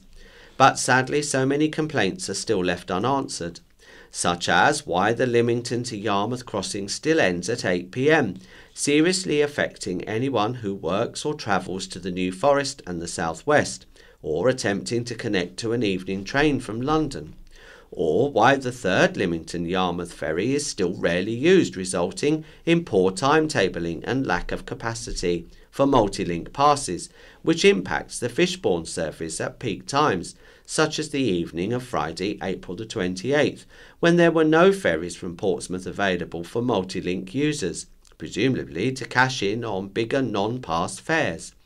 It can't be right that it was cheaper for me to stay on the mainland in a hotel and come back on Saturday. I have generally found the Wightlink service to be good and the staff very accommodating, but post COVID, the company is clearly squeezing its assets, impacting island residents that rely on regular Solent travel for work, family or health reasons, and also putting our tourism industry at risk with appalling peak ferry prices to the extent that I've met people who have decided to go elsewhere around the UK or cross the Channel to France for less. Considering Mr. Greenfield is a director of our Chamber of Commerce, I hope he can explain what he is doing to avoid killing off this hugely important part of the island economy. I've raised these issues with Iain Stewart, MP, Chairman of the Transport Select Committee, and our MP Bob Seely as I believe we need to instigate more formal political interventions, such as some level of public service obligation. It's now time for the monthly insight for Wight Advectis Radio. This month, Chris Kane is joined by Paula Matthews, Technical Officer at Wight Sense. The presenters are Kelvin and Maggie Curry. The BBC In Touch programme follows, and there is no scaffolding news this week. Vectis Radio, FM 104.6, the heart of the island's community. But we've got our guests in, have we not, Maggie? We have. We have the lovely Chris Kane in, and he's brought a guest with him. Good afternoon, Chris. Good afternoon. Yes, uh, Maggie is correct. I have brought in uh, my friend and colleague, the lovely Paula, mm. who is our technical officer for Wight Sense. So Ooh. Paula's going to be uh, chatting to you about what she gets up to okay. at the Sight for Wight. Good afternoon, Paula. Hello. And what is Wight Sense? For those who don't know? Wight Sense is the, the contracted sensory service. Right. But by that I mean um, Sight for Wight took over the local authority contract to provide sensory services on behalf of the local authority in April 2022. Right.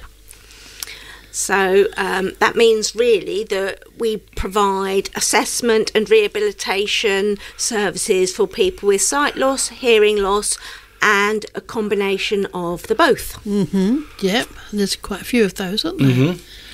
Yeah. So, what sort of equipment do you provide? It varies. It depends on, on the needs. It depends on the outcome of the assessment. Um, we offer home visits. It, mm-hmm. It's so much better to see where a person is actually living and going to be using equipment, yep. and then you can make a much better judgment yep. with them on what their needs are because they will have probably different ideas about what they need compared to what we believe they might need. Yes. So between the two of us, we you will come up with um, a need and, and a, hopefully a solution of how to fulfill that need. Okay, and what sort of equipment do you have in your store cupboard? Right, we've got for sight loss, we've got talking clocks, mm-hmm. we have got daylight lamps, we've got liquid level indicators, we've got Dycem, and Dycem is um, coloured non slip mat. It comes in red, yellow, or blue. So you need to do um, an experiment, if you like, with the person um, at the home and to find out which colour right. they can see best. Right. Because basically, what it's for is is it provides a background, so they can put a cup or a yep. plate or something, so and just makes things a bit more visible so on a specific the, place. Yeah. Improves the contrast yeah. a bit. So yeah, it improves contrast indeed. Okay. Uh, for hearing loss, we have things like um, smoke alarm systems that come with vibrating alerts. We have pager systems that come with a multiple of transistors, transmitters and receivers. Um, we provide TV listening systems, personal listening systems, lots of things really. Right. Okay. All free. As I say, that these are all free and provided for. It's all free. And this is provided for by the local authority. It is. It's funded entirely by the local authority. Okay. that's good. Yeah. So all the equipment, the assessment process, everything is funded by the local authority. Yes. So uh, can you refer people for um, assessment for hearing dog or something like that? We we can give information around hearing dogs. Right. Um, Whether I've never actually done a referral for a hearing dog, but that's not to say it's not possible. Right. It's not something I've really looked into. Okay. So, do, do you find people um, welcome this equipment, or do you think that, that is there any resistance because they don't want to admit they've got a disability? Uh, on the whole, most of our referrals come from the people themselves. Oh, right, okay. So that that answers that question in Yeah. a way. Yep. Um, because they they recognise or it can be a bone of contention um, among families Yes. um, because you'll you'll get things like um, the TV turned up off the scale for argument's sake. Yes, yes. Um, and or they're constantly saying what what what what you saying and all, all of this sort of thing Mm-hmm. so um, but most of our referrals do come from the people but occasionally um, they're from other professional organisations Right. adult Yeah. social care Right. uh, and places like that we get referrals from the eye clinic as well things like that but yeah Okay, that, that's excellent stuff. So, I mean, um, do you still do things like talking microwaves? I used to do those years ago. I don't know if they still do them. they are still available it's not something that we can provide with our budget No. um, but we can give information and advice th- around that sort of thing so- and other domestic things. Yeah, There are other things you can point people at to, Absolutely, to, to, yeah. uh, to help. Um, because I remember I turned one on once throughout the living daylights at me, so they shouted at me. I've never, never seen that happen before. um, and still, the simple things like stick on pieces to, to find the button. Bumpons, yeah, we still provide those. Yeah, Is there, bu- some people want to know, is there a criteria that you have to have met in order to have an assessment? Do you have to meet a certain criteria? Um, for hearing loss, you have to have a diagnosis. Uh-huh. Um, for sight loss, usually it's because you've got some form of sight condition. Yeah. So that could be glau- glaucoma, most commonly age-related macular degeneration. There's two types, wet and dry. Retinitis pigmentosa, um, diabetic retinopathy. Um, so most people will have a sight condition Right. of some sort. Um, Okay. I, I went to see a gentleman the other day who ha- is has a sight problem due to the effects of a stroke. Yeah. So although Okay. he's not got an, a sight condition as such, Yeah. he's still Got a it is the sight effects of the, impairment. it's sight Yeah. impaired due to stroke. Yeah. Okay. And this helps people live more independent lives in their own homes for a lot longer, hopefully. Indeed, that's what we're about. Really, i- Mm. is just maintaining independence for as long as possible for Yeah. people, if that's what they want to do. Yes. And they can have the equipment as long as they need it, can't they? Yeah. For as long as they need it, it's on a long term loan basis. There is absolutely no length of time associated with that. Good. If they find that they don't want it and it's under five years old, we will take it back. Right. Okay, that's good stuff. How do people find out more about that? Um, you can call us. Um, we do have a Facebook page, um, so you can just look up Wight Sense. Um, search on Facebook for Wight Sense. Mhm. It will come up. Equally, if you search Sight for Wight, you'll find us mentioned somewhere on on the Sight for Wight Okay. Facebook page as well. Um, there's a website. Um, so if you if you go to the Sight for Wight website, you will find us there. Um, there is a website for Wight Sense just on its own, or, or you can call us on zero one nine eight three two four zero two two two, or email info at wightsense.org.uk. Info at wightsense.org.uk. Uh, 240 which Yes. is not far different from our studio number. No. So there we are. Okay, and Chris, uh, you, you have something to, add- to add? No, Chris, you got you got to, wanted to add something at the end there, didn't you? Yes, if I could just add before before we go off. Yeah. Um, um, we are doing a, a, an event, Cycle Your Bike. and it's Cycle Your Bike for Sight for Wight. Okay. Cycle your So bike. this is between the 17th and 24th of June. Right. Um, we're trying to clock up 932 miles. Wow. One mile for every person on the island living and affected by profound sight loss. Oh, okay. I want to- it's, it's a very specific number. It's yeah. very specific, yeah. That's a lot The- of people, isn't it? It is. The journey will start on the 17th of June in Asda. So we'll have one of those stationary bikes. Oh, so right, If yeah. anyone wants to come and join in and do their little bit for us, they're welcome to come in. Okay. The remaining days, it will be at Millbrook House. Yes. So you can come in there and Okay. do your pedal power. Alternatively, if you, you're not able to get in and do that, if for whatever reason you may normally drive to work, if for that day or a couple of days you want to cycle to work, and if you really want to, you could donate the money you would have used in petrol to us at Sight for Wight. That's a good idea. That's a good idea. Yeah. So like that's that. yeah. So that's all happening the seventeenth to the twenty fourth of June. Okay, It's not far stuff. away, is it? Not No, far not away. far away at all. And if you're listening on the mainland, there is only one Asda on the Isle of Wight. We haven't got to tell you where it is. No, the Asda, yes. The Asda. It's So not that- far from the idea. motorway, is it? Not far from the motorway. No, we know where that No. is. so, thank you for that, Chris. Thank you. Uh, thank you both for coming in. Pleasure. Thank you very much. And uh, I hope that uh, you know you continue for a long time to help people with sight and hearing impairments. Thank, you very you. much. Your support matters. We operate thanks to the support of local businesses. If you would like to advertise on Vectis Radio, FM 104.6, contact our team today. Marketing at vectisradio.fm. BBC Sounds. Music, radio, podcasts. Good evening. Fashion to me is indissociable from larger cultural and political trends. But British Vogue was increasingly distant from the culture it claimed to represent. I wanted the magazine to redefine the notion of society so that it was no longer a byword for the upper crust, but simply a reference to British society at large. We would not be exclusive and prescriptive, but inclusive on every page. Edward Enninful, editor in chief of British Vogue. He was born in Ghana and is describing there his own thoughts on being offered that job in 2017. A magazine thought of then, again in Edward's own words, as a white woman's magazine. But this month's issue, called Reframing Fashion, shows just how much he's extended that idea of inclusivity. Full as it is of text about and photographs of people with a whole range of disabilities. And now it's available for the first time in braille and audio formats.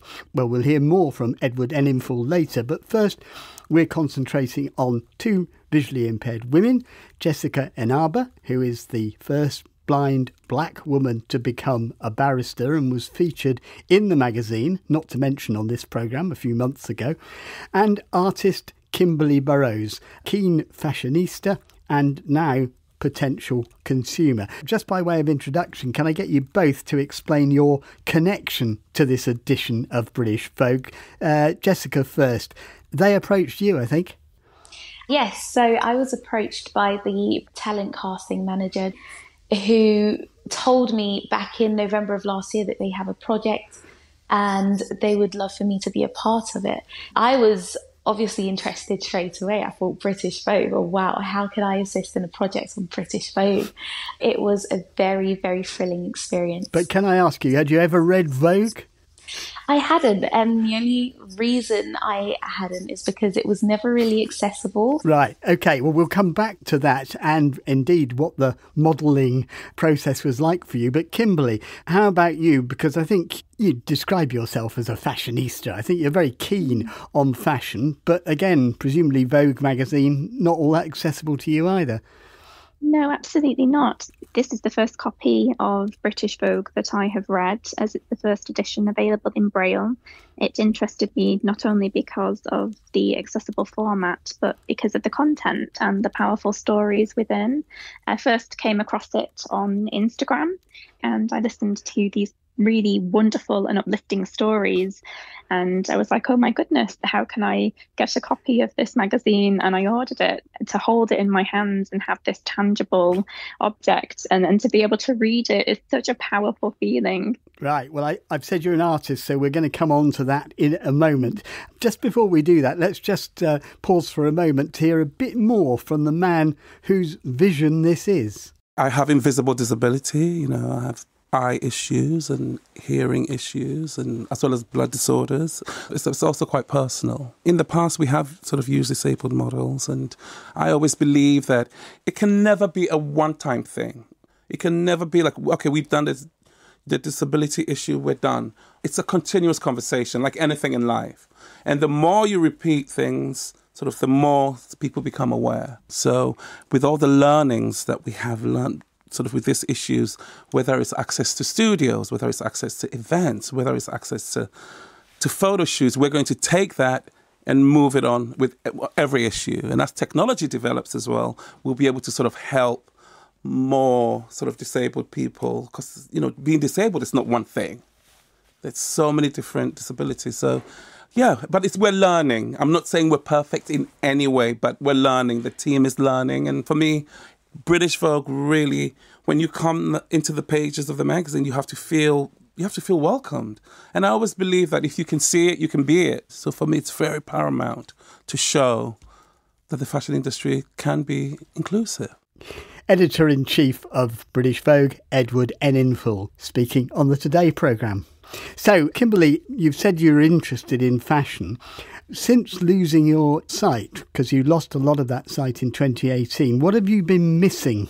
Yeah, um, I've definitely missed out on trends and I don't really know what is trendy anymore. So I tend to just stick with what I know in terms of makeup and with clothes and uh, and brands. Yeah. I try not to traverse too far into the unknown.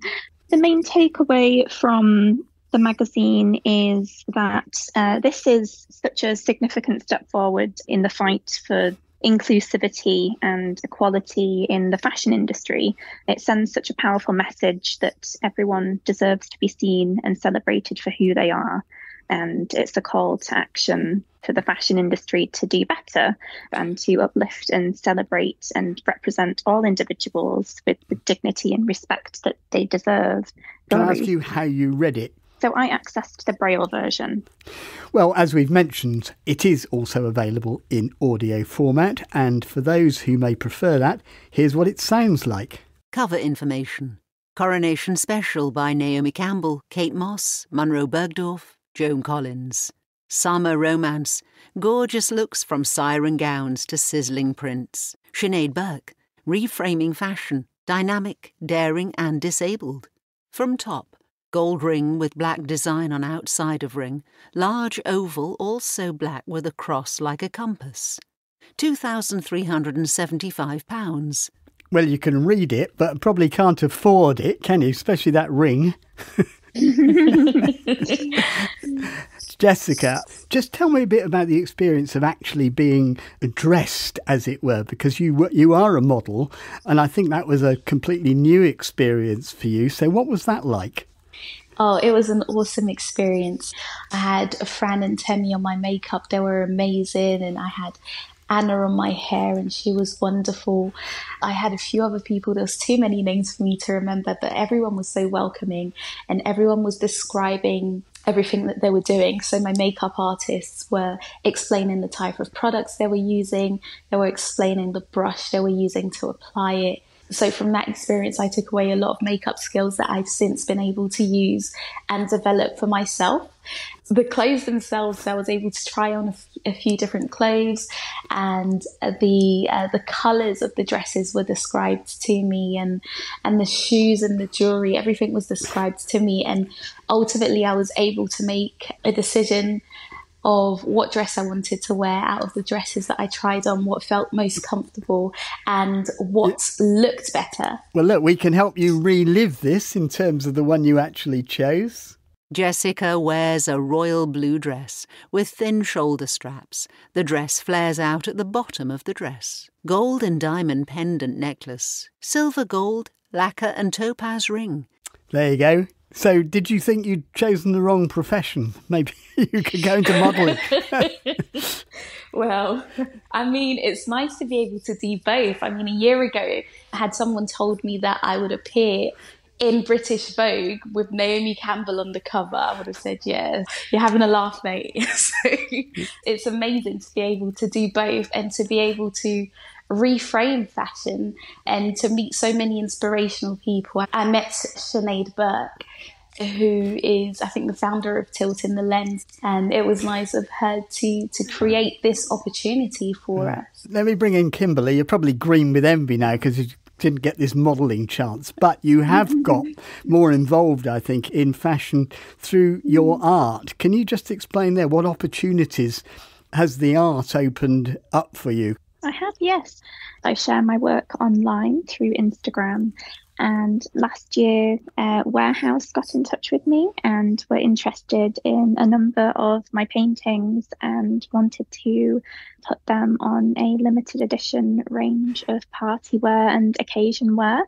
And it was just such a wonderful opportunity to change the context of um, where the paintings came from originally, which I started painting in the pandemic as a form of art therapy for myself, and to kind of change that and turn it into something more more of a celebration and for beautiful women to, you know, to wear this and, and celebrate really wonderful occasions in their lives. I, I absolutely jumped at the chance to do that. Can I just get you to explain that a bit more? Because, I, Mm. as I said, we, we've established that you lost a lot of your sight in 2018. Yes. Are you painting from memory?